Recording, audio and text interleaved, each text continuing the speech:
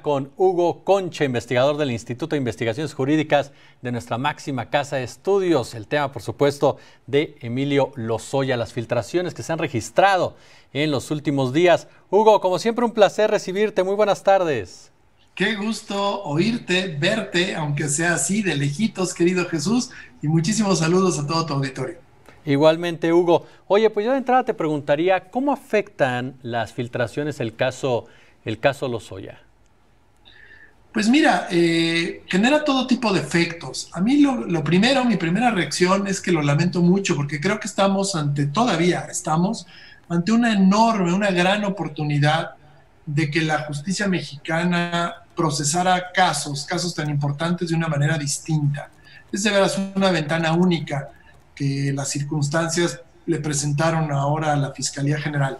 Y sin embargo existe el enorme riesgo de que volvamos como Tony Douglas en aquel viejo programa que seguramente tú y yo veíamos en televisión, al túnel del tiempo. Y volvamos a lo que ocurría antes, en donde la, la justicia se administra discrecionalmente, nos informan cosas simplemente para generar ciertas expectativas, para dar la impresión que las instituciones están trabajando, cuando desde el punto de vista de resultados, de un desempeño claro, pues la verdad de las cosas que nos tienen en el más terrible oscurantismo.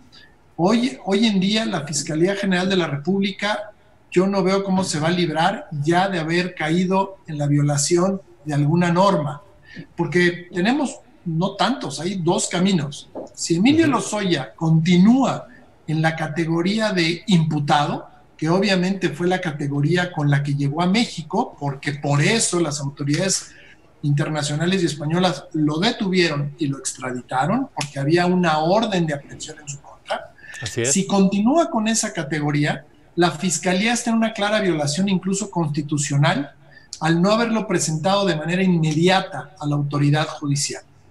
Si eso no es lo que está ocurriendo y ya formalmente, aunque tampoco nos lo han informado, se negociaron o se están negociando estos criterios de oportunidad famosos para con ello terminar el juicio en contra de Lozoya a cambio y un, a cambio dudoso, porque la ley dice más cosas por los cuales no se transita de manera tan fácil, pero a cambio de que declare de manera clara por delitos más graves y de otros funcionarios seguramente de mayor jerarquía, lo que tanto se ha especulado en medios, eh, si eso es lo que está ocurriendo y eso ya puso formalmente fin al juicio en contra de Emilio Lozoya, entonces la Fiscalía está violando otra ley, la Ley Federal de Transparencia e Información Pública, en su artículo 112, en donde dice que no hay posibilidad de reservar información a un judicial y de un procedimiento de este tipo, aun cuando se esté llevando a cabo la investigación, si se trata de delitos de corrupción.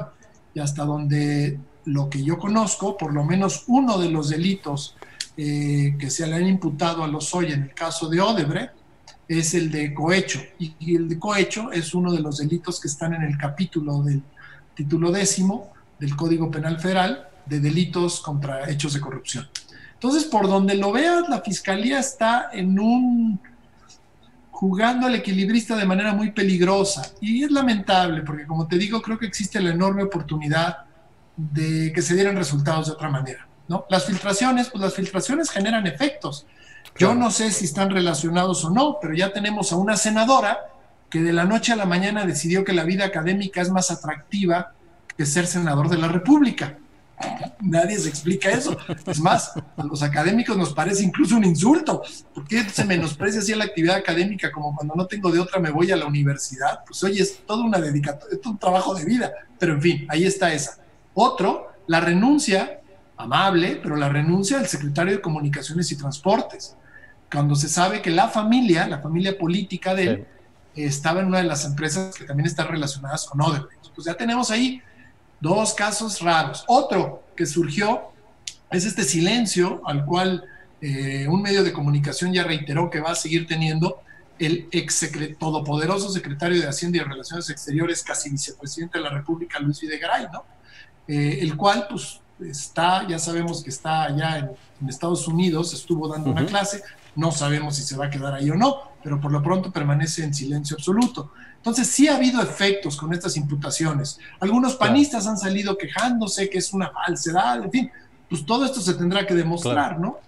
Eh, y yo creo que van a salir más nombres de los, de los más mencionados. Júralo.